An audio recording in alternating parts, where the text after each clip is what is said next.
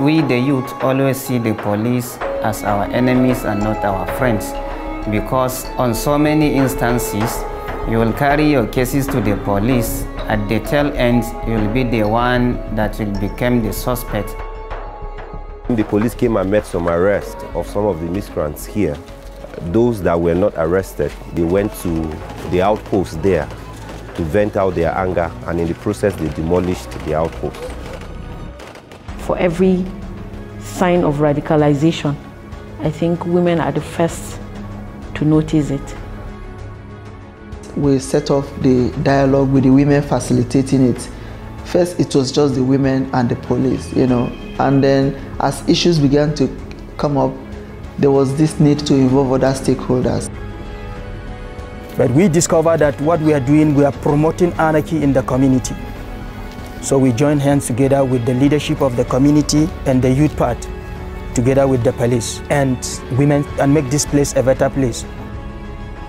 And the youth, they are saw the need to now even rebuild a police station.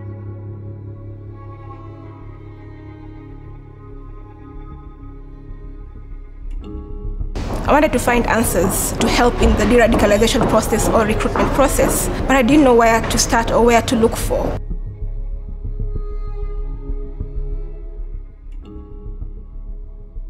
we all came together and decided we need to form Sisters Without Borders, which is now a network that uh, is slowly growing and is advocating for prevention of violent extremism.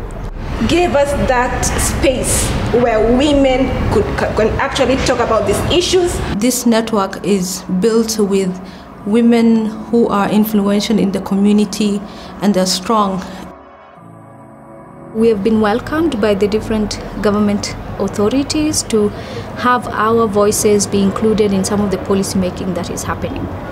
Sisters Without Borders have shown innovative ways of not only engaging but also prompting dialogue, thereby bringing to the fore some issues that are usually said in whispers. Well, engaging with Sisters Without Borders, we've really been able to improve on trust between the security and the communities. There was uh, an attack that was planned, and we got an, an intel from the community. So we brought uh, the information to the, the county security committee. So we managed to stop that. Sisters Without Borders, for now and the future, our partners we are depending on. When women have the opportunity, they too can contribute to preventing violence extremism in the community.